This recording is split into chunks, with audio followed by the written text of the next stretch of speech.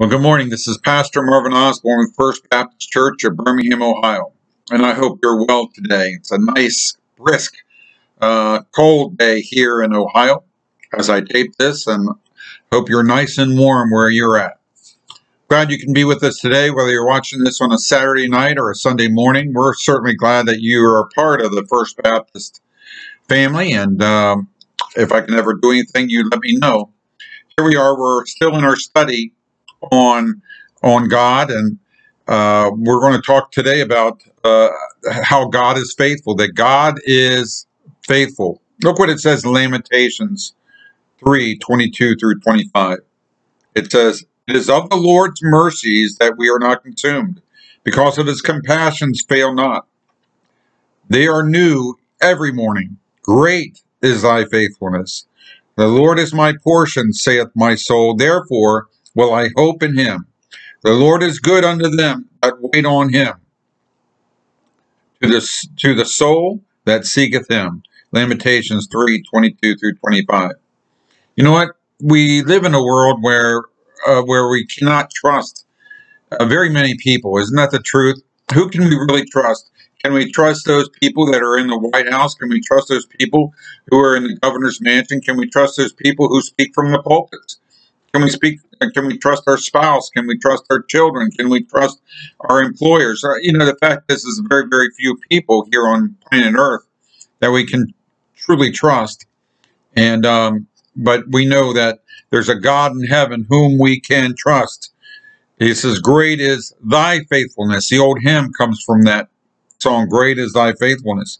John 14, 6 says that he is the truth. John, John 8 37 says, uh, To this end was I born, and for this cause came I into the world, that I should bear witness unto the truth. And everyone that is of the truth heareth my voice. You know, the Bible has several words for the word truth.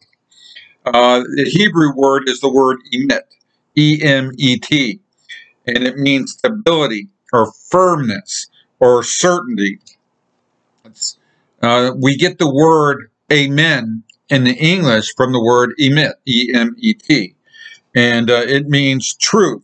It means yes, absolutely true. It is certain. So when you hear people in the church, uh, church that says uh, amen, they're saying, hey, that's truth. I believe that. I believe that. That is certain. And uh, therefore, when we say that God is faithful, we're saying that God is true, that we can trust Him. To say God is true is the same as saying that God is faithful, that we can trust Him. Uh, here is a simple definition. Uh, God's faithfulness means that because He is the truth, everything He says and does is absolutely certain. Everything He says and does, you can count on. It is absolutely uh, certain. It's 100% reliable 100% of the time. He does not fail, he does not forget, and he does not falter or change. You can trust God. What God says in his word, whether you understand it or not, whether you like it or not, is going to come true 100% of the time, every time, every time, because you can trust him. Lewis Sperry Chafer once said, He not only advances and confirms that which is true, in faithfulness abides by his promises and executes every threat or warning he has made. Whether you understand or, or, understand God's timing or why he does what he does, what you read in the Word of God, God will absolutely fulfill. That's the kind of God he is. What he says is what he means, and what he means, he'll, he'll complete. Exodus 34 6 says, that he is abounding in love and faithfulness. Deuteronomy 32 4 says that he is a faithful God. Psalms 89 2 says, For I have said, mercy shall be built up forever. Thy faithfulness shall, uh, shall thou establish in the very heavens. Psalms 89 8 says, O, o Lord God of hosts, who is a strong Lord like unto thee, or, or to thy faithfulness round about thee. Psalms 89:33 says that God uh, will never let his faithfulness fail. Over and over again, we're told of God's faithfulness. Numbers 23 19 says, God is not a man that he should lie, neither the Son of Man that he should repent. Hath he said, shall uh, hath he said, and shall he not do it? Or hath he spoken and shall not make it good? Psalms, oh, that's Numbers 23, 19. John 17, 3 says, uh, tells us that God is the only true God. 1 Corinthians 1, 9 tells us that God is faithful. 1 Corinthians 10, 13 says, God is faithful. 1 John 1, 9 calls God faithful. 1 John 5, 20 says that God is true. Over and over again, we're told of the character of God, that He is faithful, He is true. You can count on Him. He will never let us down. He, what He says, He means, and what He means, He does. He keeps His word because if He didn't, He would cease to be God.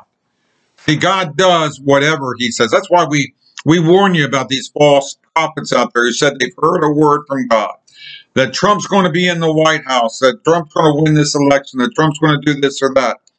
And, uh, you know, and the fact is, is that they, because they said they heard from God, and uh, and God's right 100% of the time, that's showing us that they're, these are uh, these are liars, they're false teachers, false prophets, and you shouldn't have anything to do with them.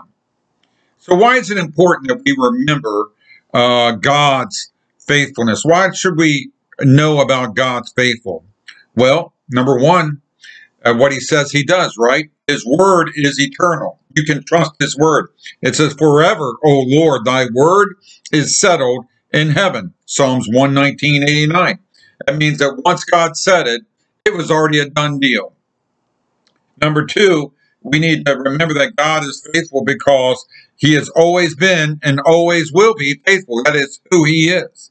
Psalms 119.90 says, Thy faithfulness is unto all generations. Thou hast established the earth, and it abideth. Psalms 119.90. Number three, he, uh, God is faithful in all he does. Psalms 111.7 says, Thy works, the works of thy hands are, are verity and judgment. All his commandments are sure. Number four, we need to remember that God is faithful even when we're not. God is faithful even when we're not. It says in, in 2 Timothy 2.13, if we are faithless, he will remain faithful. Praise God. Number five, uh, we need to know about God's faithfulness because our salvation depends on God's faithfulness. We're saved apart from good works, and we're uh, and God saved us by His grace, and we're kept by His grace. And if we can't trust Him, uh, then we're left in limbo, wondering whether we're saved or not. But it says here, uh, Psalm uh, Philippians one six, it says, being confident of this very thing, that He which hath begun a good work in you will perform it unto the day of Jesus Christ. What God says He does, He'll do, He has done. If God said He saved you, you are saved. We need to remember this because our sanctification uh, depends on God's faithfulness. Not only our salvation, but our our, our sanctification.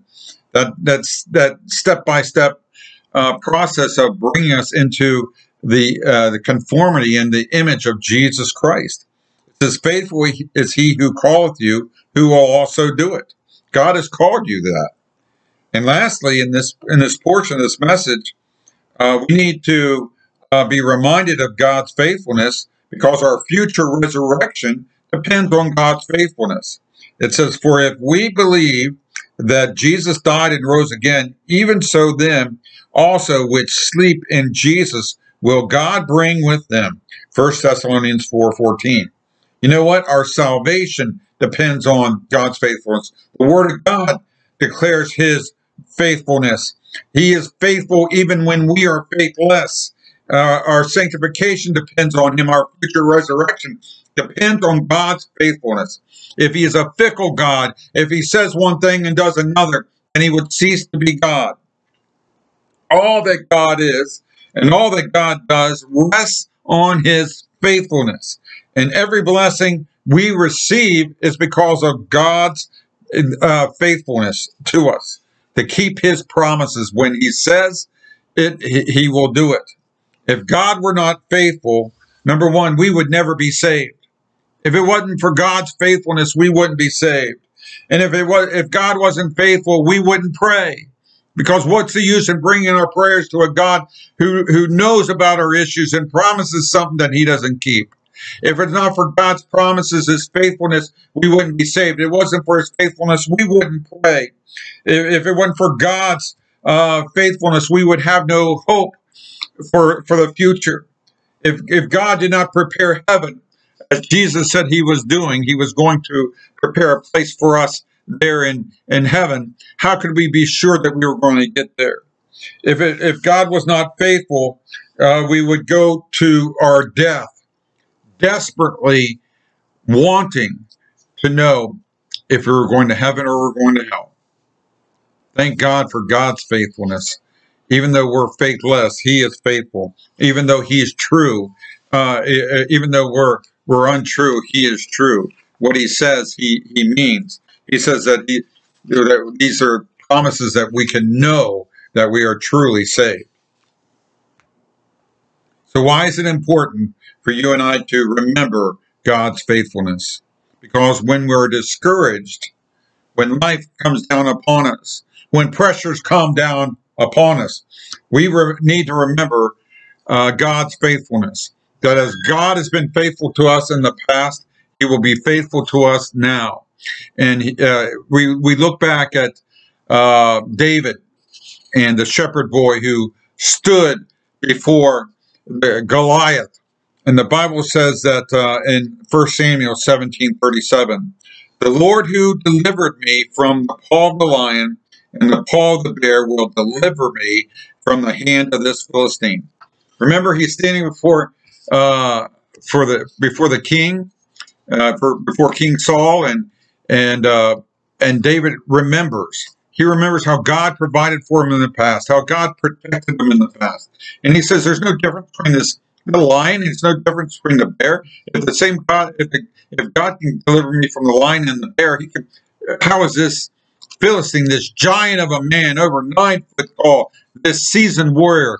He's no different than the bear or the lion. My, no, no one stands in God's presence. And you and I need to remember, you and I need to remember God's faithfulness that as He provided for us in the past. Do you remember when God provided for you when you thought no one else in the world even knew what your issues and problems were? Do you remember when that check came in when you didn't expect it? Remember when you prayed and God provided the healing. Remember when you prayed and God provided the, your protection. Remember how God was always there. What's he saying here? As God was faithful in the past, he will be faithful now and he will be faithful in the future. We need to remember God's faithfulness when tough times come, when we become, when we get discouraged. We can't let discouragement overwhelm us and drown out our our faith in our God. We need to remember God's faithfulness. Number two, we need to remember God's faithfulness when we doubt our salvation. And yes, doubt comes to all people. We look in scripture and we see how John the Baptist doubted and he wondered if, if Jesus was who he said, who he thought he was. And, uh, well, and Jesus said, Hey, remember to go back and tell John that you know, I'm, I'm preaching to the poor, the blind receive their sight, the, the lame walk, and and uh, and and and so forth. Remind him who I am. You know what? We need to remind ourselves who God is when we doubt our salvation. Um, John 10 28 says, I will give them eternal life. First John 5 13 says, You may know that you have life. Why is this important? Because God promised that those who believe on the Lord Jesus Christ will be saved.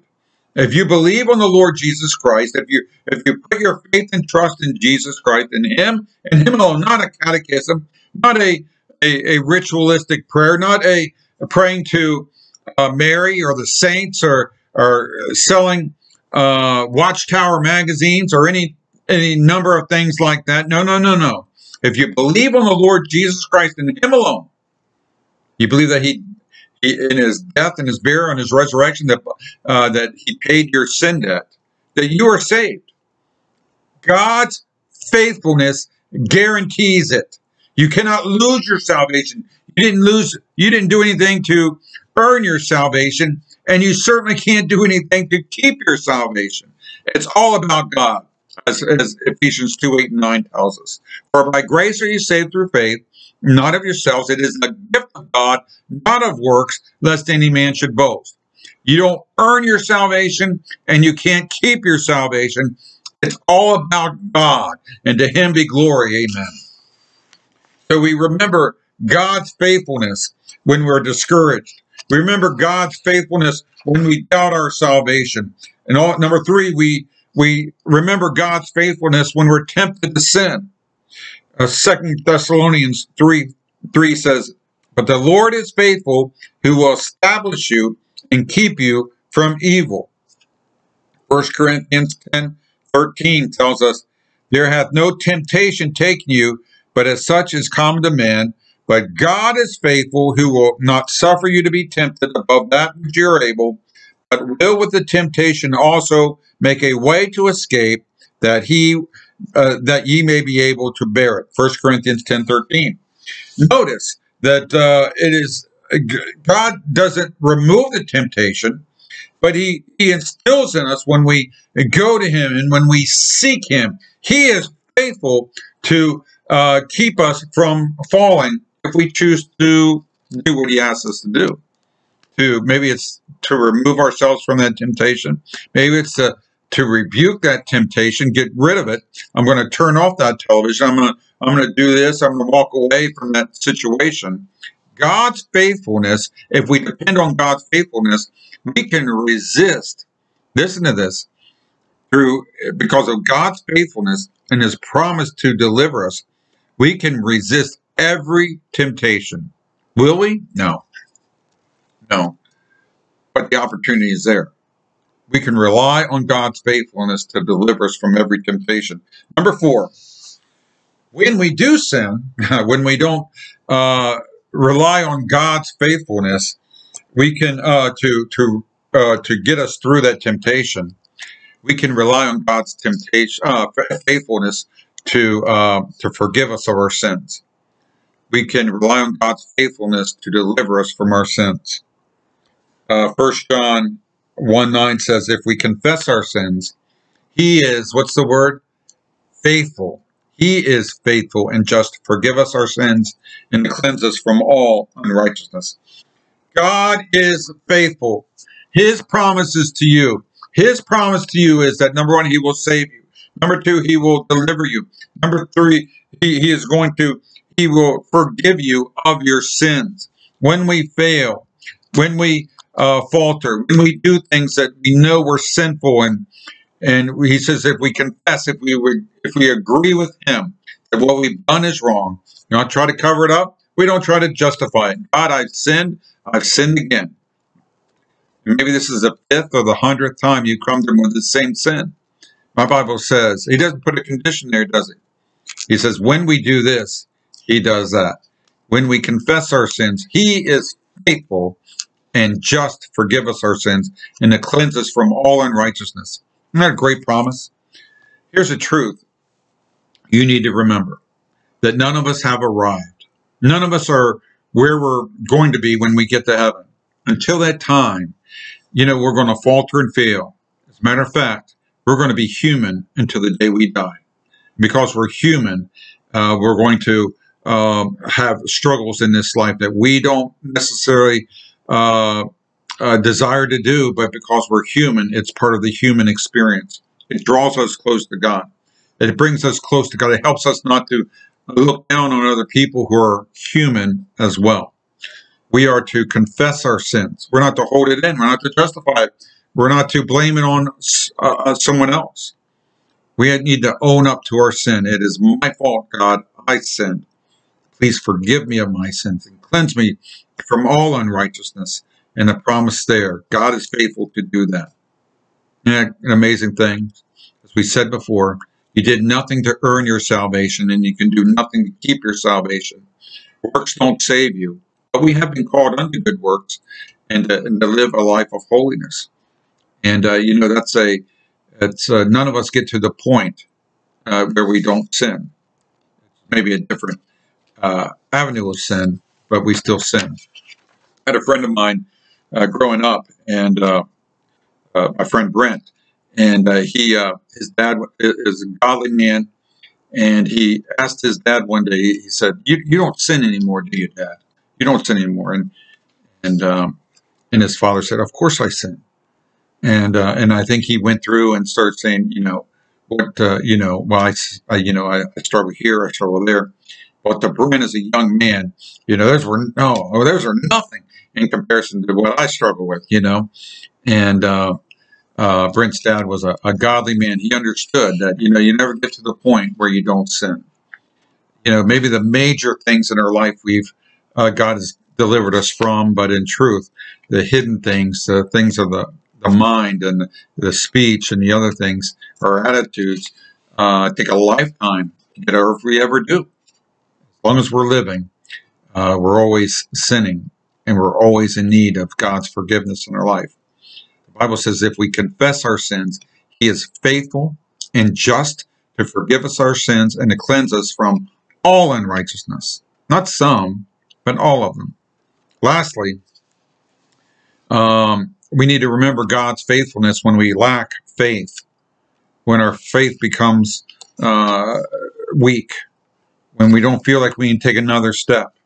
Hebrews 10:23 says, let us hold fast the profession of our faith without wavering, for he is faithful that promised. Hebrews 10:23. What wonderful words these are to us. Uh, when we when we face moments where our our faith is not that strong, when when things look overwhelming, when we do get discouraged, when things uh, when when it's uh, maybe we're tempted to to give up, we need to hold fast the profession of our faith without wavering because God is faithful.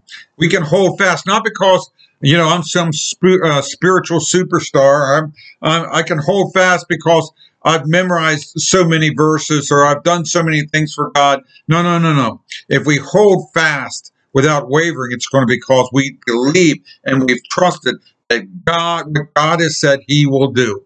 God is faithful even when we're faithless. Isn't that amazing? When we when we uh, when uh, when we lack faith, we can go to God, who who uh, who will not throw us out. He will hold us up, and uh, and continue to encourage us in, in the darkest of times. God is faithful. God is faithful. Friends, are you going through some tough times today?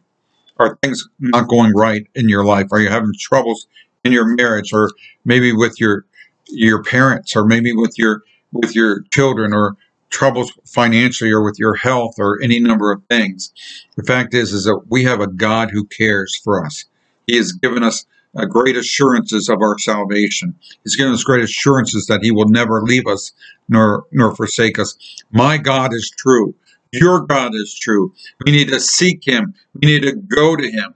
We need to confess our need of him and ask him to reveal his presence in these situations that he would deliver us and and provide for us as as we have need amen we need to pray for that healing we need to pray for that that um, um, that uh, you know are the financial uh, means of getting out of the situation that we're in. We need to pray for a new job. We need to pray for deliverance for our, our, our spouses, our spouse or our children or whatever's going on in our life. God cares for you. So people say, I don't, I don't want to bring the little things to God. I don't want to pray. I don't, I don't want to pray about the little things. No, no, no. Everything's little to God.